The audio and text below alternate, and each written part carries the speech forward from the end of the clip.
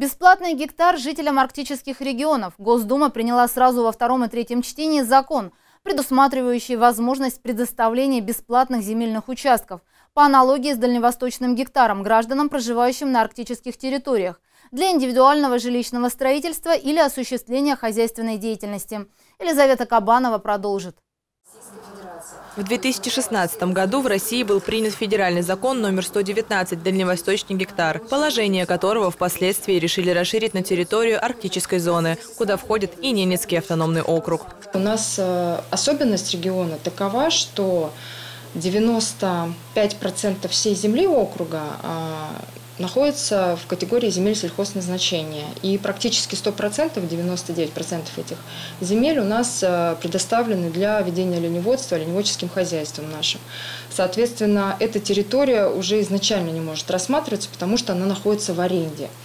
А согласно статье 7 119 федерального закона, участки, предоставленные на каком-либо праве, не участвуют в этой программе. Ну и, соответственно, еще есть ряд ограничений, которые мы тоже закрыли. В ограничения входят территории традиционного пользования, зоны подтопления, затопления, объектов культурного наследия и территории общего пользования. Пограничные территории также пока остаются закрыты. Для минимизации конфликтов населенные пункты не рассматриваются, так как не все постройки в пределах сел, деревень и поселков поставлены на кадастровый учет. В настоящее время согласие выразили только жители деревни деревни Куя. Рассматривались также варианты в окрестностях Нижней Пеши и Омы. Мы должны показать ту территорию, где можно брать гектар.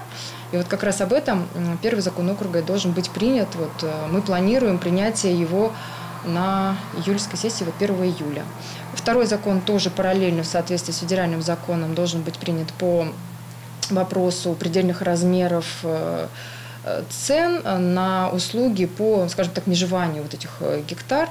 И вот мы запросили коммерческие предложения, предварительно 46 тысяч у нас получается. Такая работа, максимальная цена а, за вынос 8, не менее 8 точек, но там получается гектар достаточно большая территория, Э, четыре точки может быть недостаточно. Законопроект округа об арктическом гектаре будет рассматриваться на сессии собрания депутатов 1 июля. Заявление на получение арктического гектара можно будет подать только после 1 августа в управлении имущественных и земельных отношений, когда закон вступит в силу. Добавлю, в течение года владелец арктического гектара может определяться с его назначением. Землю можно использовать в целях строительства индивидуального жилого дома, осуществления любой хозяйственной деятельности, что, по мнению специалистов, будет способствовать вовлечению неиспользуемых земель в хозяйственный оборот и увеличению налоговых поступлений в местные бюджеты. Елизавета Кабанова, Дмитрий Лукевич, телеканал «Север».